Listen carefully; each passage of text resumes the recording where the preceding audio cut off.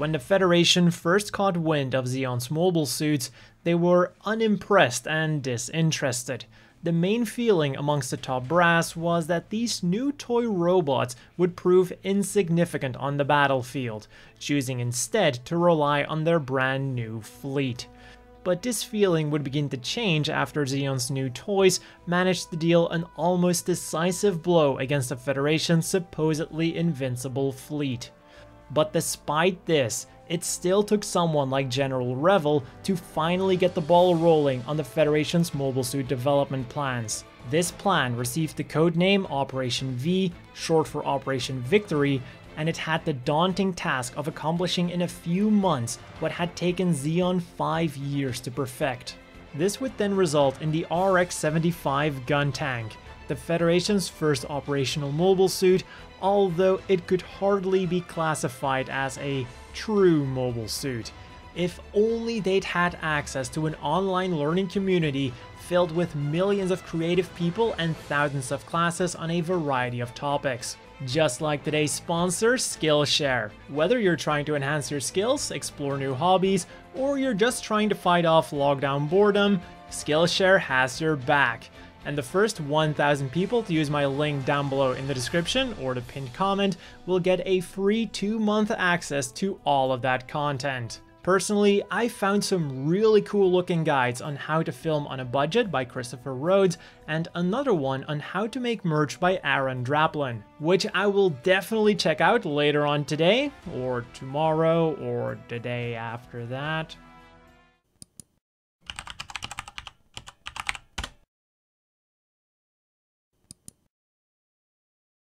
Productivity was definitely something on the Federation's mind when creating the gun tank. In order to save as much time as possible, other companies and projects were also incorporated into its development. And a few defected Zeon mobile suit engineers and scientists also lent a helping hand. The mobile suit itself was based on the experimental RTX-44 main battle tank, Initially, this machine was developed as the replacement of the Federation's aging Type 61 main battle tank, but during its development, it was redesigned as an anti-mobile suit fighting vehicle.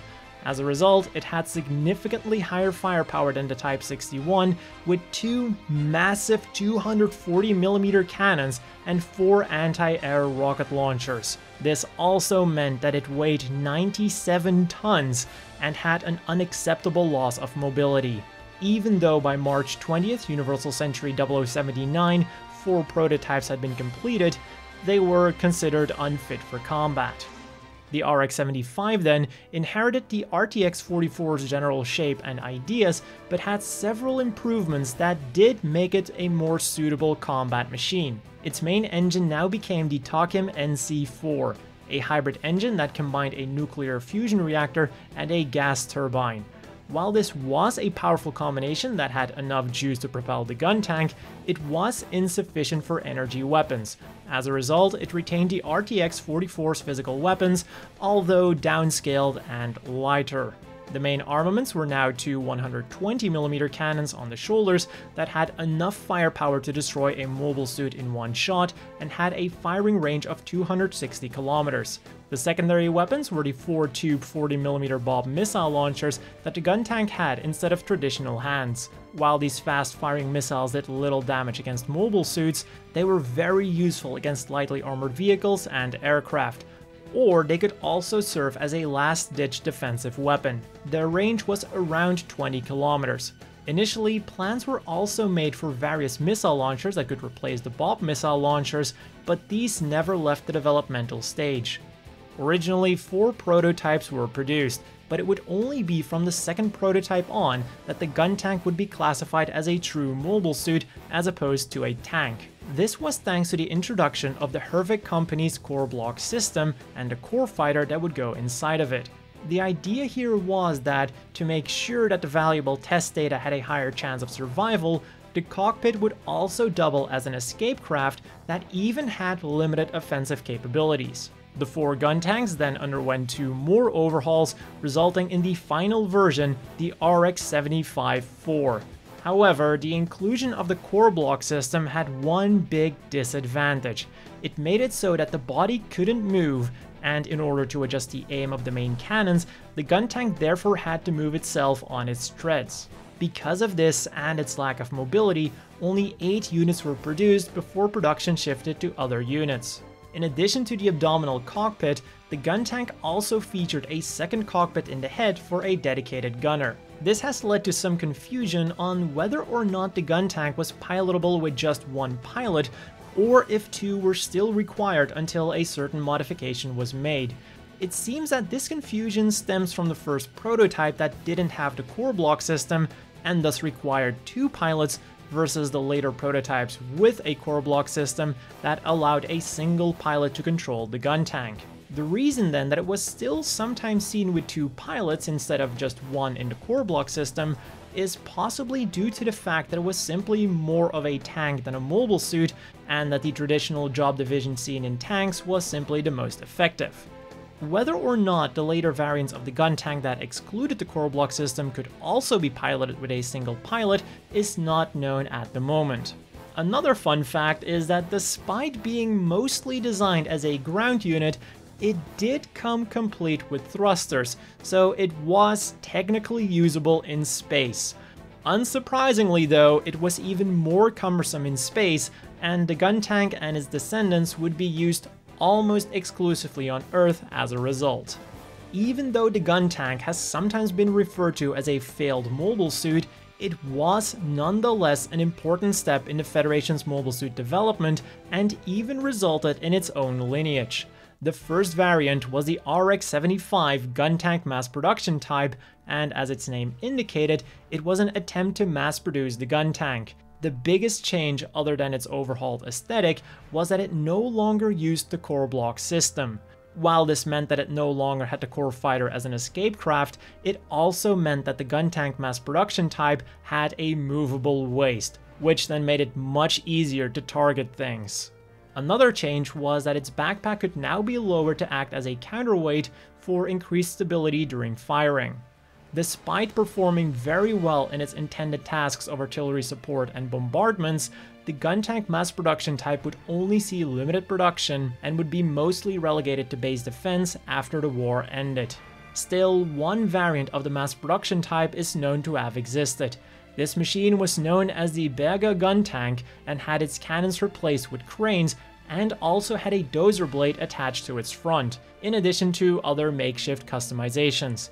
Given the fact that these units shared their model numbers with the actual gun tank mass production types, it is highly likely that these units were all battlefield improvisations and all had their own unique features to them.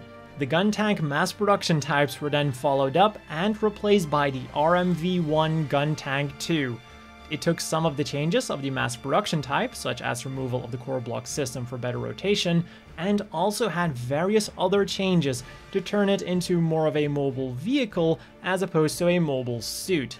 Other than just feeling more like a tank, its firepower was upgraded to turn it into an even better fire support unit. Rather than the wimpy 40mm Bop missile launchers, it now had one 4-tube 180mm rocket launcher and a large 3-tube missile launcher of similar caliber. For anti-infantry, it featured a 60mm machine cannon on its chassis, and as its main weapons, it of course retained the two 120mm cannons. But even though development progressed smoothly thanks to the Federation's experience with fighting vehicles, the gun tank wasn't ready until the very end of the One Year War and would only be used in combat afterwards. Although some sources claim that it did see some action. A desert version known as the RMV-1E Gun Tank 2 Kai was also produced, but other than its color scheme and a few desert-oriented modifications, it was essentially the same unit. How the Gun Tank 2 performed though is up for debate. Most available footage of the Gun Tank 2 can be considered as less than flattering and presents them as less of a mobile vehicle and more of a mobile target.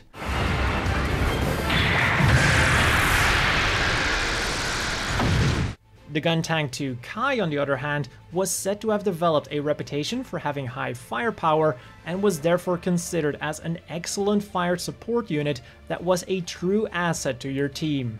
This last interpretation seems to be confirmed by another gun tank variant, the RMV-3M, the local control type gun tank. This machine took the idea of the gun tank 2 even further. Again, it was armed with 120mm cannons as its main armament, and its silhouette was even more that of a fighting vehicle. In place of its arms, the local control type was equipped with three tube missile launchers of unknown caliber, and these units were mainly used for mopping up operations in Africa, where they performed very well. So it would seem that, unlike their popular depiction as just target practice for whatever Zeon they encountered, these units were not to be underestimated. One interesting thing about the local control type then is that it used the same chassis as the original RX-75, but it was turned around and now also had a dozer blade for clearing obstacles. The final unit then that we have to cover isn't really a variant of the gun tank, but more like a sister unit because it was developed from the same machine, the RTX 44. Not wanting the four already produced prototypes to go to waste, the Federation upgraded these units into the RTX 440 ground assault type gun tank and these units were perhaps some of the strongest gun tanks to ever see combat. They came standard with a 220mm main cannon, 30mm BOP machine guns on the arms, and a flamethrower on the left arm. Optional weapons then included 56 tube missile launchers, the multi-launch rocket system, and heavy mines. And even with all of this stuff attached to it, the gun tank still had a surprising top speed and enough agility to pose a serious threat to even the latest Zeon machines such as the Gouf or the Dom.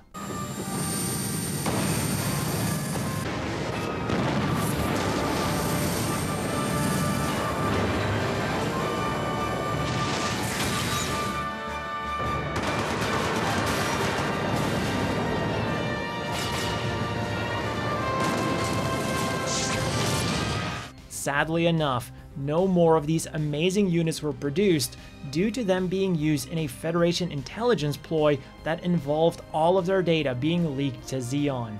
This then resulted in three of the four assault types being used in a penal battalion during the first wave of Operation Odessa, and none of them would see the end of it.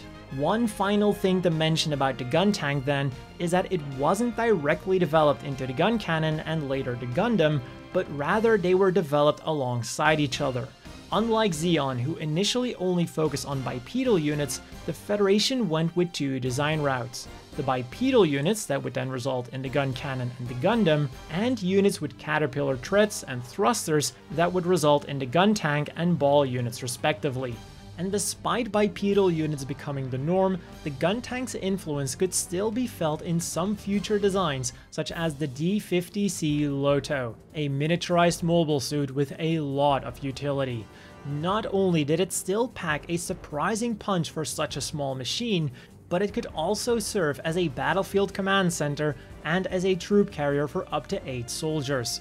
This very successful design then resulted in the F-50D gun tank, a failed unit that never made it past the prototype stage. This unit is sometimes also seen with the model number R44, but this designation was given to one particular unit belonging to a private museum. The owner of this museum was called Roy, and he was 44 years old when he got the gun tank in his possession. Hence the origin of this model number. Despite the eventual failure of the F-50D, Anaheim Electronics had full faith in this unit during development and had already begun designing an up-armed version known as the Powered Weapons type. This was basically the same unit but with different weapons such as a Mega Machine Cannon and a Twin Beam Cannon. Compared to the conventional weaponry of the normal F-50D, the Powered Weapon type could have been a much more successful unit, although it is unlikely that it was ever made due to the failure of the former. But that is all for this video of development history. If you enjoyed it, be sure to leave a like and subscribe for more similar content in the future. Then all that's left for me to do now is to give a big thank you to Skillshare for sponsoring this video. Again, links down below. And of course, another big thank you to the Patreon supporters. I hope all of you watching have a great day, and I'll see you all next time.